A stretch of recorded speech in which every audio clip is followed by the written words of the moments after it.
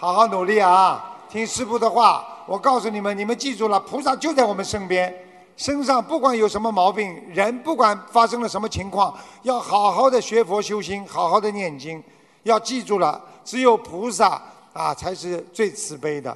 有时候我们一定要好好的跪在菩萨面前，要好好的忏悔。记住了，能够灵验的事情怎么会发生的？记住了，多忏悔，你一定会灵验。希望你们好好的忏悔，听得懂吗？啊啊，好啦，谢谢大家啦，啊啊，记住了啊，好好的学佛，要爱国爱民，对不对啊？你看看啊，台长给你们做了很好的榜样啊，一定要爱国爱民，一定要遵纪守法，一定要好好的把中国传统文化弘扬下去，好好的把佛教的精髓要传承下去。你们一定要好好的给自己的孩子做个榜样。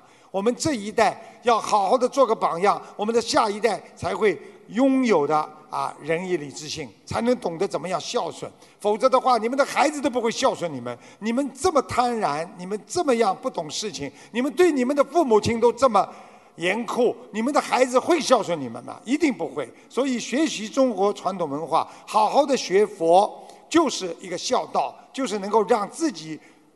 更好的能够陶冶自己的情操，让自己的境界更高。希望你们不管发生了什么情况，好好念经，好好学佛，好好修心。记住了，菩萨就在你们的周围，你们周围有很多菩萨，好好的相互帮助，好好的相互啊，能够啊一起学佛修心，多念念，多念念经，多看看白话佛法。师父经常会法身给你们加持的。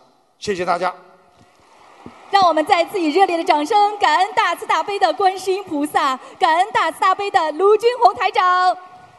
感谢大家参加本次卢军宏台长世界佛友见面会，祝大家学佛精进，法喜充满。